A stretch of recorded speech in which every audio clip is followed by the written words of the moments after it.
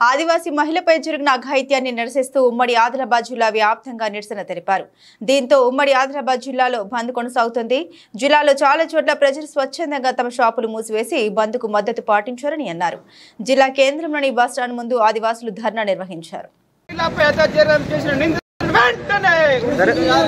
ఆదివాసీ మహిళపై అత్యాచారం చేసిన వెంటనే ఆగస్టు ముప్పై తారీఖు నాడు ఒక ఆదివాసీ మహిళపై కుంభరం భీం జిల్లా జైనూర్ మండలంలోని ఉసగాం గ్రామ పంచాయతీ దేవుగూడ గ్రామంలోని మెస్రం నీలాబాయి అనే ఆదివాసీ మహిళపై జైనూర్ మండలానికి చెందిన ఒక ముస్లిం వ్యక్తి అతని పేరు ముగ్ధూమ్.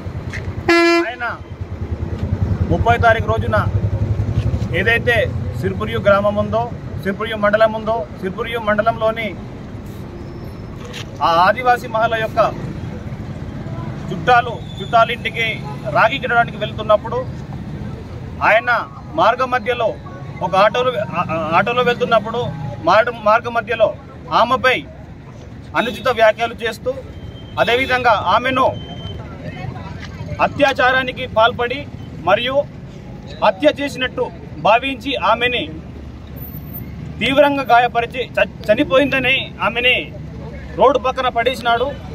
పడేసిన తర్వాత ఆమె చనిపోయిందని వెళ్ళి ఒక రోడ్డు యాక్సిడెంట్ ద్వారా చిత్రీకరించినట్టు అక్కడ అక్కడి అందరితో చెప్పినాడు.